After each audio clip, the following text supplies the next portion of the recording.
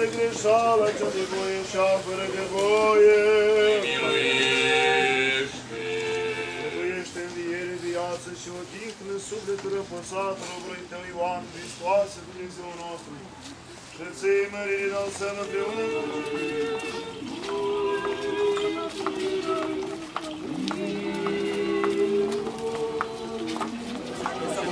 Sus capul, sus capul, sus capul, sus capul. Fiecărui toate greșeală, ca de voie și a fără de voie. Doamne, miluiește! Doamne, miluiește! Doamne, miluiește! Dumnezeu să așeze sufletului unei drețe, se odihne. Doamne, miluiește! Doamne, miluiește! Doamne, miluiește! Hristos, împăratul cel pătrănat, Dumnezeului nostru să-i cere.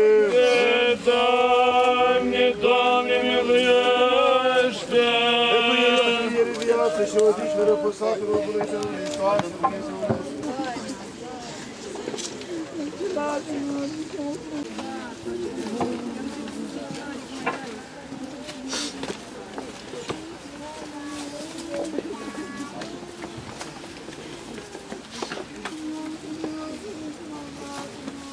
Eu uh, nu doresc să influențez, uh, ancheta nu este corectă, acum se numește conform legislației noi adoptate codurile în 2003, urmărirea penală. În niciun caz nu doresc să fac acest lucru, dar eu consider că totuși a fost o omucidere la comandă. Eu am temeiul să presupun că s-a întâmplat acest lucru, o omucidere la comandă.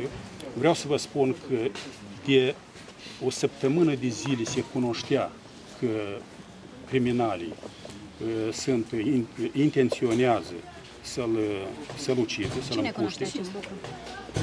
Lumea interlopă și, spre regret, uh, informația a parvenit și în anumite organe de drept, dar ei nu s-au atârnat uh, serios față de acest lucru și cu părere de rău spre marele nostru regret, totuși s-a produs această tragedie, s-a întâmplat. Dar la Nu comandă- este vorba de reglare de conturi, este vorba de un interes din partea uh, unor membri a unei organizații criminale care au decis public, mă iertați, oficial ca să-l lichideze. Dacă să mă refer uh, în special la domnul, nu merită să-i spun domn criminalul Șoltăianu, tocmai el a procedat în felul în care a procedat, pentru că el a mai săvârșit o omucidere în 2003, eu cred că dumneavoastră cunoaște acest lucru, și exact în același mod a săvârșit o omucidere atunci, a tras din pistol, numai că atunci a tras șapte foc.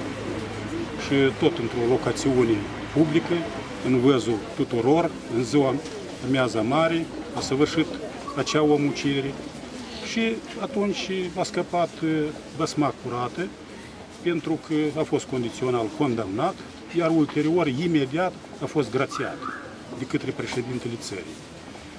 Și cunoscând acest lucru foarte bine, eu cred că a gândit și acum că tot așa va scăpa. De fapt, eu, sincer să vă spun, nu știu care va fi soarta cauzii penale, vom vedea, dar mă gândesc că se poate repeta situația din 2003. Cu atât mai mult că până la 2003, lucrând în Departamentul pentru combaterea crimei organizate și corupției, el a săvârșit o tâlhărie, o infracțiune, o crimă de asemenea gravă, nu o să intru în detalii, dar ulterior, de asemenea, a scăpat de pedeapsa bine meritată. Dosarul a fost expediat în instanțele judecătorești, dar acolo s-a ales cu nimic, deci el a scăpat de pedeapsa. Eu singur am auzit, Publica TV a vorbit despre faptul că eram și eu la masă în momentul în care era discuția aceea plăcută, neplăcută, nu eram acolo, ei chiar am putut fi acolo, de pildă, și rău din asta. Dar n-am fost. Însă s-a, și mai multe posturi de televiziune, dar și radio, au anunțat că generalul Alexei era prezent. Nu știu, dumneavoastră s-a auzit că s-a vorbit așa, că era prezent. Da. Este o persoană interesată, un care a răspândit aceste zvonuri, această informație, un procuror care a lucrat interior procuror, anterior procuror pe atunci când lucram eu în departament, plânge pușcăria după el, ulterior a fost eliberat din organe, a fost pornită și șcauză penală de către mine personal, semnat ordonanță de pornire a cauzei penale, dar acum el a revenit în procuratură, în organele procuraturii. Este un interes și am înțeles că dânsul a răspândit această informație, dar și alte informații ponegritoare.